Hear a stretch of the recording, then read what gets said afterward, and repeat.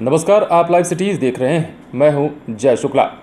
पिता रामविलास पासवान, की लंबी बीमारी के बाद निधन हो जाने के बाद से ही चिराग पासवान अब तक उस प्रकार से चुनावी मोड में नहीं आ पाए हैं, जिस प्रकार से उन्हें आना चाहिए था। ज़ाहिर भी है क्योंकि पिता की मृत्यु के बाद चिराग पासवान लगातार कुछ कामों में व्यस्त हैं और ऐसे में एक नई खबर निकल कर आ रही है, वो तो हम आपको बताएँगे लेकिन उससे पहले ये जान लीजिए कि चिराग पासवान जो है अब परसों से अपने चुनावी अभियान को शुरू करने जा रहे हैं, लोगों के बीच जाने का सिलसिला शुरू करने जा रहे हैं, लेकिन उनके पास इस बार हेलीकॉप्टर की सुविधा नहीं होगी। ऐसा नहीं है कि चिराग पासवान को हेलीकॉप्टर की सुविधा नहीं मिलने जा रही है। चिराग पासवान का ये फैसला खुद का है और वो इस बार, जबकि उनके पास एक हफ़्ता से भी कम का समय रह जाएगा लोगों के बीच जाने और अपने पक्ष में वोट की अपील करने का। ऐसे में चिराग पासवान ने खुद ही यह फैसला लिया है कि वो लोगों के बीच बस से यात्रा करके पहुँचेंगे और लोगों को संबोधित करेंगे।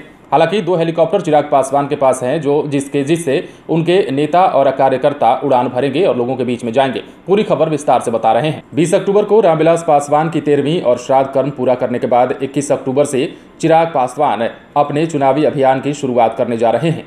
इसका मतलब ये है कि पहले चरण के प्रचार के लिए उन्हें एक हफ़्ते से भी कम का समय मिल पाएगा। ऐसे में चिराग पासवान हेलीकॉप्टर से चुनाव प्रचार करके ही समय की भरपाई कर पाते, लेकिन वो एक बड़ा कदम उठाने की तैयारी कर रहे हैं।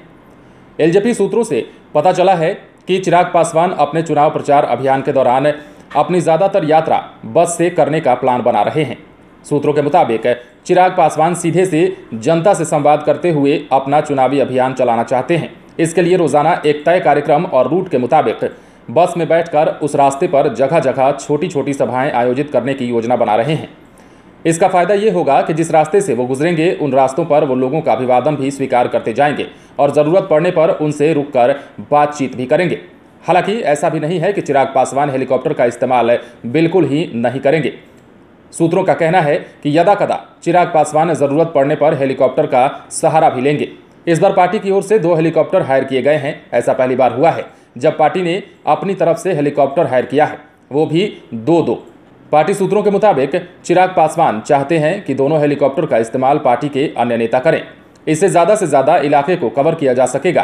पहले चरण में पार्टी इकहत्तर में से बयालीस सीटों पर चुनाव लड़ रही है, जबकि कुल मिलाकर एक सौ अड़तीस सीटों पर उनके उम्मीदवार चुनावी मैदान में हैं। तो ऐसे में चिराग पासवान का एक बड़ा ही अहम फैसला कहा जा सकता है, बड़ा ही अनोखा फैसला कहा जा सकता है, जबकि उनके पास एक हफ़्ते से कम का भी चुनाव प्रचार का मौका होगा, ऐसे में उन्होंने बस का सहारा लेना उचित समझा है, बस के माध्यम से लोगों के बीच जाने का फैसला किया है, और इस दौरान वो लोगों से मुखातिब होंगे, लोगों का हाल जानेंगे, और इसके अलावा जब दो हेलीकॉप्टर पार्टी ने हायर किया है तो उस हेलीकॉप्टर से उनके नेता और कार्यकर्ता कई इलाकों में जाएँगे, ऐसे दो दो तीन तीन इलाके एक दिन में कवर हो सकेंगे और यही रणनीति चिराग पासवान ने अपनाई भी है। अब देखना यह होता है कि चिराग पासवान के इस फैसले के बाद लोगों के दिलों में ये कितना घर बना पाते हैं, लोगों के ज़मीनी स्तर से लोगों से जुड़ाव उनका कितना फ़ायदेमंद हो पाता है, ये आने वाला दस तारीख बता देगा। बहरहाल, आप बने रहें लाइव सिटीज़ के साथ। बिहार चुनाव से जुड़ी तमाम छोटी और बड़ी खबरें हम आपको बताएँगे, लेकिन उसके लिए आप हमारे चैनल को सब्सक्राइब करें। अगर आप ये वीडियो फेसबुक पर देख रहे हैं तो पेज को लाइक करें। इसके अलावा आप हमें ट्विटर पर भी फॉलो कर सकते हैं। धन्यवाद।